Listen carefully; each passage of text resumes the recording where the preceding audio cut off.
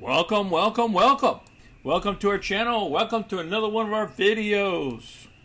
Today we're going to talk about Virgin Galactic, SPCE. We'll cover analyst news. We got a couple articles that just came out. We have special short interest news. Just was updated in the last last 24 hours, and then we'll look at our positions and review the charts. Now, in our positions here, we've been making money over the past month, and I'm going to show you that. I'm going to give you a quick sneak preview of our end of month report. And if you're new to our channel, go ahead, click the money icon below to review our past videos. Please smash the like button and subscribe. So let's get busy. All right, here's our current position. We still have one option against our position. And we'll see what happens on the 20th of August. If everything goes well, we'll collect that $586 total profit off the position. Let's snap into the monthly report real quick. We went over our 3% already. Uh, we received over $4,000 worth of profits for July. And look at this. You see the number there? Because we picked up an extra $1,730 this week already profits. These positions are closed already. And for the whole month of July, in premiums and profits, we picked up $8,598 to support our position. I'm telling you, covered calls and selling put options, it pays when the market goes down on your stocks. Remember, that's what we're here for. We're here to put money in your pocket. Pick up that cash off the ground. Virgin Galactic. It popped up. Before we get to the articles here, we'll cover this real quick. The volume was only 12.4 million shares and normally is 41 million. Apparently, people are keeping them, and the shorts apparently is not too much interest in trying to sell this stuff short right now.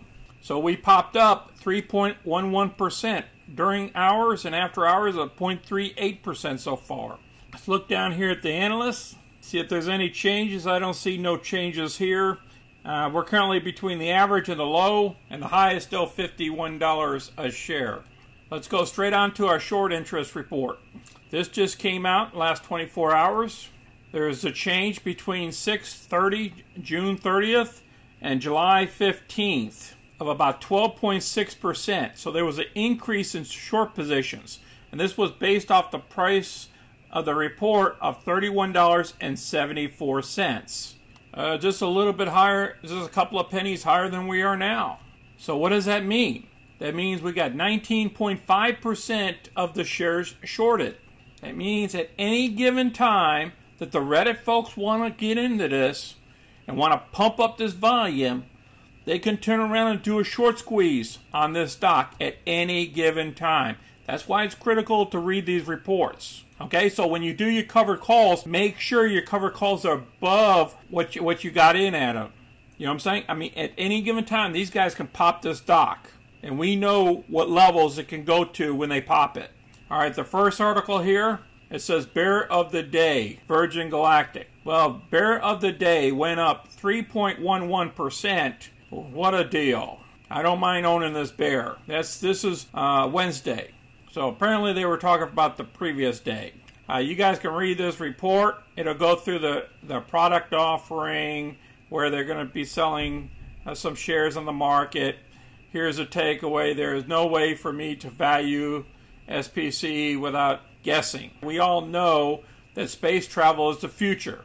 So we're just getting a piece of the action. That's all. This article will be down below so you can review it. Here's the other article uh, that came out yesterday at 4:30 36 p.m. And they're talking about last year's prediction arrival of the U.S. recession, a little bit of that.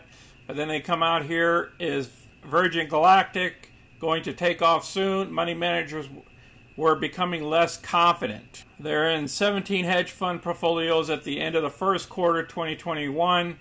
Uh, the all time high was a total of 32. There were 23 hedge funds in our database position at the end of the fourth quarter. I'm going to place this down below as well. Apparently, this was this is another bear that's writing these stories. I just want to show you guys all in the news when they come out. Let's get on to their chart. Now this is what I like. I think we're forming a base right now. These are one this is one day intervals. We're above the the 200 day and we're above the, the 50 day. And if this is going to be the new bottom, then hopefully in the next couple of weeks we'll find out where the resistant levels are going to be. Because right now the only resistance I see is at 33, 37. That's right here when it failed. That was on 721. And we're talking a week ago or so. So we can't really use that as resistance, but we could use back here. We could say the next resistance would be somewhere around 35 $35. So as long as we, if we could break through 33, 37, I think we can go higher up to 35 or so until we get some more flights out there or until we get some more contracts or some positive news. Unless the Reddit people want to take it again, you know what they did up here. Look at this. Any given week, they can do this to the stock because there's hardly any volume. The volume has died over the past, I would say, the past nine days. I appreciate everybody watching our video today. If you have any questions or comments, please place them down below. Please tell us what your positions are. If you're doing cover calls against it, if you're selling puts, if you're buying puts or you're buying calls against a stock. Go ahead, click the like button and subscribe to our channel. Until next time, this is Sonny. I'm out.